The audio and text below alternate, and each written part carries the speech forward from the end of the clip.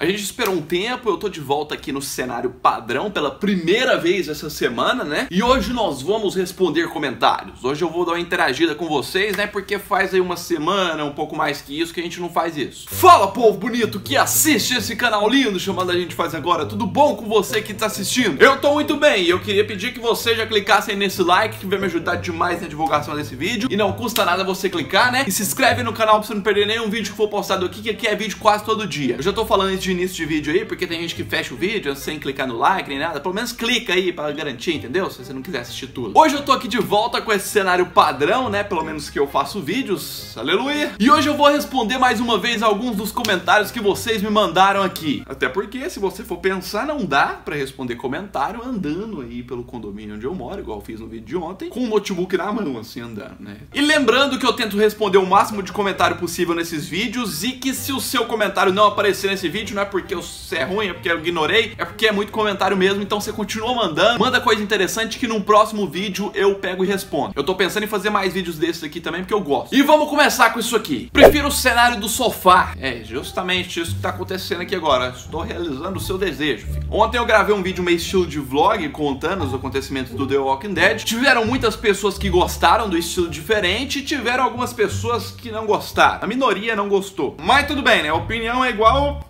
Cada um tem o seu. Não vou falar aqui, né? Family friendly, bonitinho. Acho que você deveria assistir, acompanhar e comentar o Fear, Fear the Walking Dead, né? Você vai se surpreender e gostar muito. Eu acho que de todos os vídeos respondendo comentários, a cada dois ou três, sempre tem uma pessoa falando pra eu assistir Fear the Walking Dead. Por quê? Eu não sei. Deve ser porque é bom. E eu vou falar minha opinião. Eu tenho curiosidade, sim, de assistir? Tenho. Eu tenho muita vontade de saber, até depois que o Morgan passou pra lá, eu fiquei com mais vontade ainda de assistir. Mas levando em conta que eu não tenho acesso ao canal AMC Brasil, eu não quero pagar uma assinatura extra, sei lá, da Amazon, igual muita gente me falou, só pra poder assistir uma série, a única coisa que me resta é assistir online na internet. Aqueles sites que você clica play e aparece 57 mil spam na tela. Eu tenho uma preguiça de um tamanho disso que você não tem noção. Pra você ter ideia, deve ter mais de um mês que eu não assisto uma série no Netflix, porque eu não tive muito tempo. E no meu tempo livre, quando eu não tô pesquisando conteúdo de vídeo pra vocês, informação de The Walking Dead, criando coisa nova, eu pego e vou jogar. Então é, fica complicado. Mas eu vou tentar ajustar meu tempo, eu vou ver se eu faço um esforço e assisto. Não dá vergonha andar e falar com a câmera? As pessoas não ficam olhando? Fica. É claro que fica. Pessoa andando com a câmera na mão, na rua, assim, não é comum, porque de início, quando você começa, você tem uma empolgação, mas na hora que você vai gravar em público ali no Vamos Ver, você fica com aquela vergonha imensa e às vezes até não quer gravar. De início eu tinha muito mais e era muito ruim. Isso até atrapalhava na minha desenvoltura nos vídeos. Mas com o tempo, tem aí o que? Dois anos de canal, dois anos e meio vai dar. Eu fui desenvolvendo um pouco mais de liberdade em falar, em gravar assim, mas mesmo assim eu ainda sinto um pouco incomodado. Porque eu sempre acho que eu vou gravar e alguém vai aparecer e vai vir reclamar. Não, eu não posso aparecer no vídeo porque eu não dei autorização para você me gravar. Entendeu? É bem isso. Que que é isso? Passa.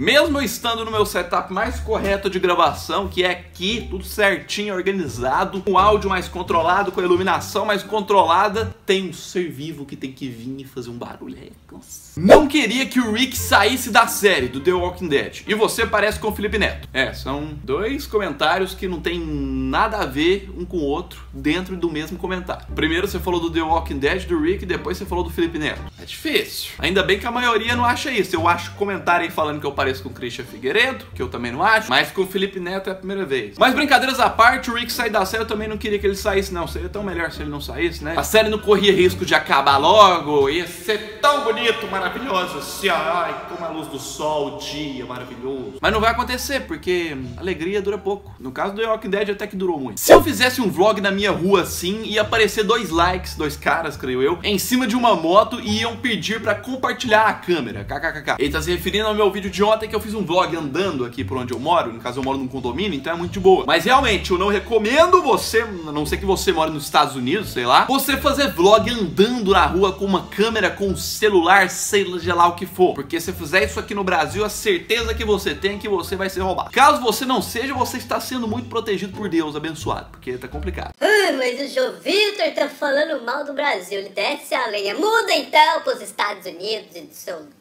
trouxa. Eu tô falando isso porque já teve gente que já reclamou de eu falar mal do Brasil algumas vezes. A única coisa que eu faço aqui é falar a verdade. Oi, você poderia falar sobre a teoria que o Rick vai sobreviver por causa do ar?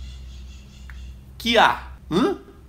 A? Vamos pesquisar, né? Vamos aqui. The Walking Dead. Teo... Teoria do A.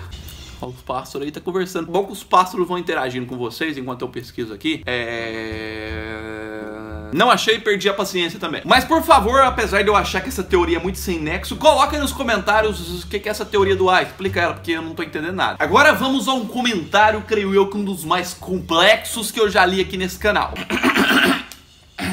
Tão ruim quando você acha que vai estralar tudo assim, fazer um mau barulhão e não acontece nada. Mano, você apareceu no meu sonho. Foi muito à toa. Apareceu no meu quintal. Eu sou um bandido, então invadi a casa dos outros. Aí eu só lembro de estar numa escola. Eu não sou normal nem nos sonhos. Você estava lá também. Aí só olho pra trás e tem um monte de zumbi. Ou seja, eu invado casas, persigo pessoas até na escola e levo uma horda de zumbi junto comigo. Mano, bizarro. Eu corri desesperadamente, desesperada pela porta dos fundos. Desesperadamente, desesperada não dá. E fui casa casa, nem sei como. Você estava lá também, na minha casa. Gente, eu sou Slender, gente. Sabe o Slender? Lembra do Slender? Ele aparece em tudo quanto é lugar na frente das pessoas, assim. Aí a minha mãe brota dizendo que estavam ligando de um número desconhecido pra ela. Ela colocou pra ver algo e disseram algo sobre mim. Eu não lembro. Sei que minha mãe me olhou furiosa. Eu disse que você não era aquele do celular. Aí eu puxei você e mostrei que você não tinha. Ela ficou bem melhor.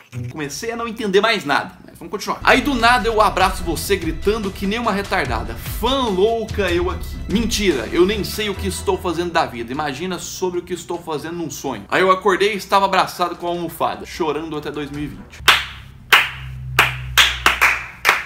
E a Manu tá batendo palma assim. Você viu que sonho?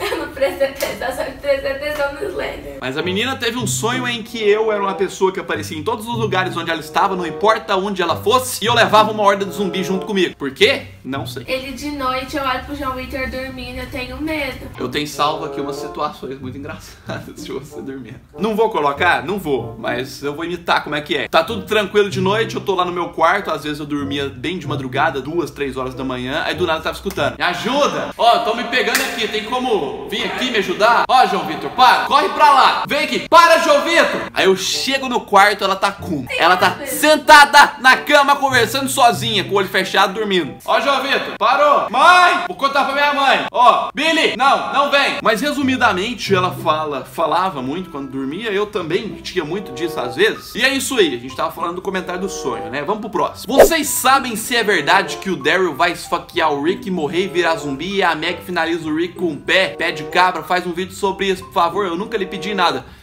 Favor, põe uma vírgula no seu comentário. Eu vi pelo menos umas 10 pessoas, até 20, não sei, escrevendo nos comentários essa teoria totalmente sem nexo. Eu não sei se foi alguém do YouTube que criou isso, eu acho que pode ter sido, mas vamos parar pra pensar. O Daryl, ele pega e esfaqueia o Rick, aí o Rick morre, vira zumbi e a Meg finaliza o Rick. Vai acabar ainda mais com a C. Vai sim. Primeiro ponto, porque o Rick não vai ter uma morte merecida, não vai ter uma morte heróica que ele tem que ter pra poder sair o personagem protagonista da série de forma triunfal. Tudo bem que pode ser que isso não aconteça, mas essa é a pior forma possível. Primeiro que o Rick é muito amigo do Daryl, vai ter conflito ali, o que mostrou no trailer, a respeito de guerra civil, um não vai concordar com o outro, creio até que a Meg também não vai concordar muito com ele. Vai ter treta sim, mas a treta chegar a um ponto de amigos de uma série inteira, um esfaquear o outro, personagem secundário esfaquear o personagem principal, e aí ele pegar e virar zumbi, e a Meg pegar e finalizar finalizar ele vai ser completamente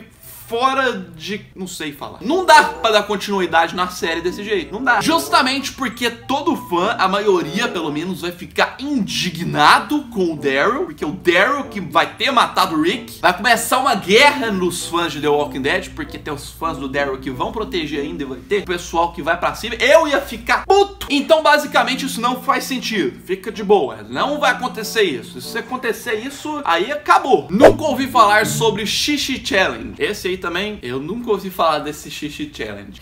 Esse, esse aí também não ia ter como colocar no YouTube, né? Xixi Challenge. É Kick Challenge! Que?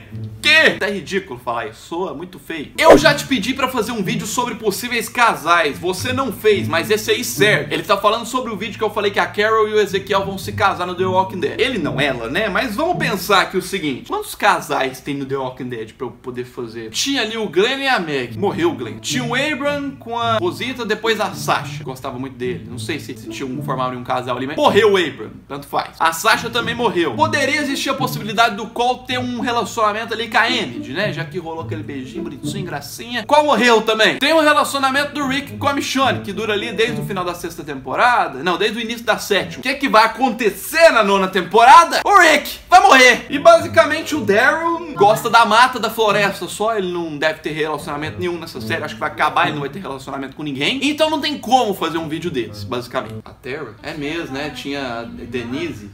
É, tinha. Aí, mano, também lembrando, mais um. The Walking Dead é desfazedor de casais. Formou casal, vai morrer alguém. O Rick só tá demorando pra acontecer porque ele é o personagem principal. Mas também vai. Tá bom, vamos pro próximo comentário. Eu acho que sou uma das poucas pessoas que curto spoiler. Valeu. Você não é uma das poucas pessoas que curte spoiler, não. Você não é. Aqui você tem por volta aqui de umas 20 mil pessoas, no mínimo, que estão inscritas nesse canal aqui, só por causa de spoiler do The Walking Dead. Então não é só você, fica de boa. Tem pelo menos uma galera bem grande inscrita aqui no canal que compartilha da mesma opinião que você. A outra parte é inscrita por causa dos vídeos zoeira que a gente faz, né? O que aconteceu com o Manuel Pedro? Vamos lá.